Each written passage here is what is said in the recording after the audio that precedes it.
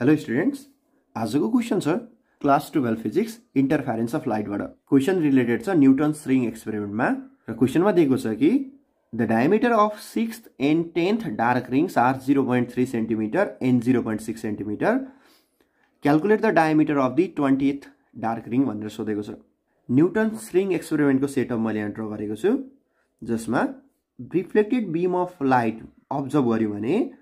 यसबाट देखिने interference pattern हुन्छ सर्कुलर जसलाई चाहिँ यो सेकेन्ड फिगरमा ड्र गरेको छु। सेन्टरमा जहिले पनि डार्क फ्रिन्ज र bright dark bright dark alternately आउँछ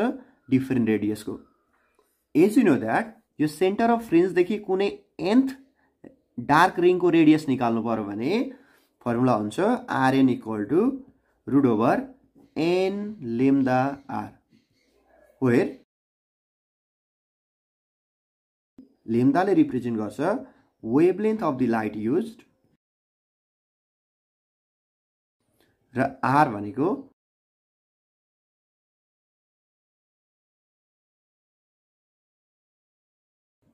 यो जुन लेन्स युज गरेको छ प्लानो कन्भेक्स लेन्स एक्सपेरिमेन्टमा यसको रेडियस अफ कर्वेचर आर क्वेसनमा दिएको छ diameter of six ring and ten rings. डायमिटरको टर्ममा लेख्नु पऱ्यो भने there four diameter of the nth dark ring. That is dn equal to 2 times of rn हुन्छ जसलाई लेख्न सक्छौँ two times of root over N lambda R गरेर।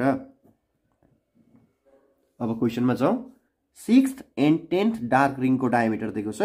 zero point three centimetre and यो क्वेसन सल्भ गर्नको लागि suppose गर centre यो कुनै पोइन्टमा छ र यसको लागि एन्थ डार्क रिङ यो कुनै पोइन्टमा छ। सपोज र यो एन्थ डार्क रिङ भयो। सेन्टरदेखि यो nth dark रिङसम्मको radius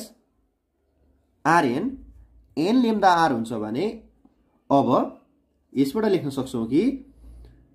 diameter of nth dark ring D N लेख्नु पऱ्यो भने from equation number two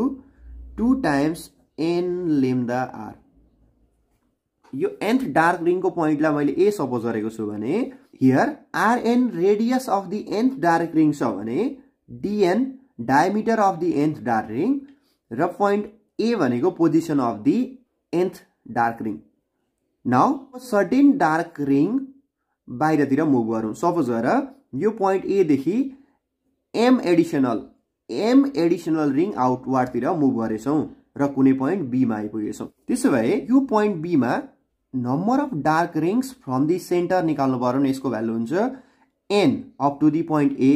र एडिसनल भनेको एम रिङ मुभ गरेको छौँ भने टोटल नम्बर अफ रिङ हुन्छ N plus M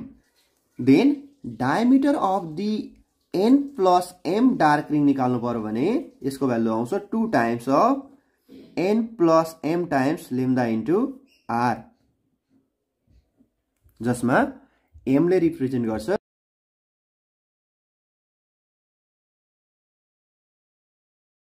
पोइन्ट एदेखि पोइन्ट बीसम्म कतिवटा एडिसनल रिङ मुभ गरेको छ यसले दिन्छ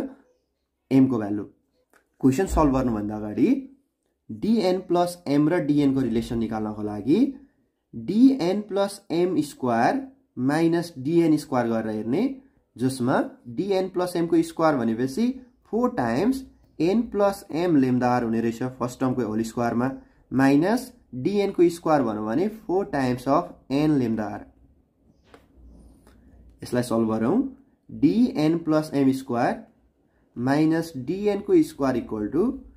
four N lambda R plus four M lambda R minus four N lambda R जसमा फो एन लेम्दार र फो एन लेम्दार क्यान्सल हुन्छ र आउँछ भ्यालु डिएन प्लस एमको square minus डिएनको square equal to four M lambda R जहाँ डिएन प्लस एमले दिन्छ हामीलाई एन प्लस एन्थ रिङको डायमिटर डिएनले दिन्छ diameter of nth ring M is the additional circular fringes we move from the point A to B र lambda wavelength of light use र R radius of curvature of plano convex lens अब यो फर्मुलालाई use गरेर given क्वेसनलाई solve गर्न सक्छौँ। यसलाई केस वान र केस टूमा डिभाइड गरेर सल्भ गर्दैछु। केस वानमा सिक्स रिङ सुरुमा फर्स्टचोटि मुभ गरेको रिङ नम्बर अफ रिङलाई एन लेख्छौँ जहाँ एनको भ्यालु छ सिक्स र एनदर टेन्थ डार्क रिङ भनेको छ भने अब total number of ring from from the centre to point of B यसलाई एन प्लस एम लेख्छौँ जसको भ्यालु छ टेन र यसबाट चाहिँ एडिसनल रिङ निकाल्नु पऱ्यो भने सिक्सदेखि टेनसम्म पुगेको छ भनेपछि एडिसनल रिङ भयो फोर देन डिएनको भ्यालु दिएको छ जिरो पोइन्ट थ्री सेन्टिमिटर र डिएन प्लस एमको भ्यालु दिएको रहेछ जिरो पोइन्ट सिक्स सेन्टिमिटर अब यो भ्यालुजलाई एबभ फर्मुलामा पुट गरेर रिलेसन निकाल्यो जहाँ चाहिँ डिएन प्लस एमको square minus डिएनको square equal to four M lambda R हुन्छ भने यसमा डिएन प्लस एमको भ्यालु दिएको छ जिरो पोइन्ट सिक्सको स्क्वायर माइनस डिएनको भ्यालु छ zero point थ्रीको square equal to four times एमको value छ additional circular ring four into lambda into R zero point सिक्सको square zero point three six minus zero point थ्रीको square zero point zero nine by four into four गऱ्यो भने यसले value दिन्छ lambda आरको जसबाट चाहिँ lambda आरको value आउँछ zero point zero one six eight seven five जति छ मैले पुरै लेख्दै। अब सेकेन्ड केसमा मुभ गरौँ। जहाँ चाहिँ क्वेसनमा सोधेको छ ट्वेन्टिथ डार्क रिङको डायमिटर त्यसो भए अब सेकेन्ड केस सल्भ गर्नको लागि पनि फेरि फर्स्ट केसकै हेल्प लिन्छौँ। सपोज सुरुमा सेन्टरदेखि ए भन्ने पोइन्टमा आइसकेको छौँ भने यतिखेर initial number of friends we move from the centre Enco value again six नै भयो जसको diameter डिएनको value again zero point three centimetre नै लिने र अहिलेको लागि चाहिँ एन प्लस एमको भ्यालु डाइरेक्टली अब सिक्सदेखि टेनमा नजाने डाइरेक्टली सिक्सदेखि ट्वेन्टीसम्म मुभ गऱ्यौँ। भनेपछि सेकेन्ड केसको लागि चाहिँ एन प्लस एम ट्वेन्टी भयो भने additional circular rings we move from the point A भनौँ भने सिक्सदेखि ट्वेन्टीमा पुगेको छौँ भनेपछि यसको भ्यालु आयो ट्वेन्टी माइनस सिक्स भनेपछि फोर्टिन रिङ्स र जसको diameter DN plus M is what यही सोधेको छ क्वेसनमा। अब यसलाई फेरि एब फर्मुलामा भ्यालु पुट गरेर हेर्ने जहाँ चाहिँ डिएन प्लस एमको स्क्वायर माइनस डिएनको स्क्वायर इक्वल टु लेख्न सक्छौँ फो एम लेमदार यो केसमा डिएन प्लस एमको value निकाल्दैछौँ।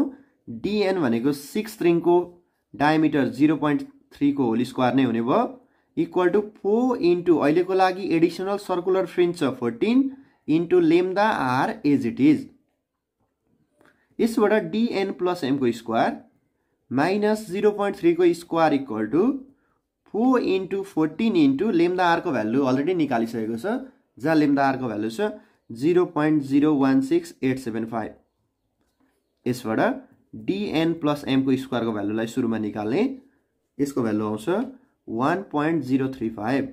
Dear for डिएन plus am निकाल्नु पऱ्यो भने यसको स्क्वायर रुट गर्ने। यसको भ्यालु आउँछ one point zero one seven centimetre.